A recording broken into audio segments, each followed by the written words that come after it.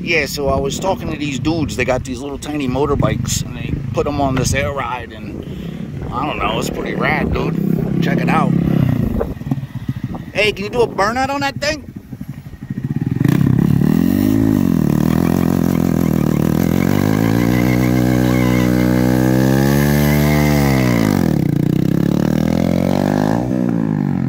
Yeah, these bikes is rad.